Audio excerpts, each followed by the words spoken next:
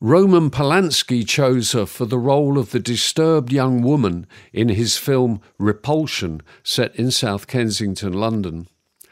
Made in 1965, it's one of the very first psychological thriller movies and is essential viewing. Ian Hendry, John Fraser, and Patrick Wymark also star.